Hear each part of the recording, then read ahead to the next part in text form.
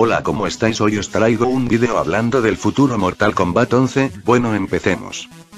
Mortal Kombat 11 ya podría estar en la mente de Ed Boon, ya que en su cuenta de Twitter mostró este mensaje, Construction un nuevo Mortal Kombat, con este mensaje ya está claro que piensa ya en su próximo proyecto que será Mortal Kombat 11, ya que Ed Boon ya ha terminado el desarrollo del Injustice 2, que saldrá el 16 de mayo de este año, y por eso Ed Boon ya le habrá dicho a Warner Bros. Games, que el próximo proyecto de NetherRealm Studios sería Mortal Kombat 11, Ed Boon también está preguntado a los fans de Mortal Kombat de cómo le gustaría que fuera el próximo arcade stick de Mortal Kombat, este mensaje también es muy curioso, porque los arcade stick siempre vienen con las ediciones de coleccionista, si recordáis bien Mortal Kombat 9 su edición de coleccionista venía con un arcade stick, pero Mortal Kombat 10 su edición de coleccionista no tenía arcade stick, ni se sacó ningún arcade stick, por eso se estaría ya pensando que con Mortal Kombat 11 ya en mente, se estaría ya pensando en una edición de coleccionista.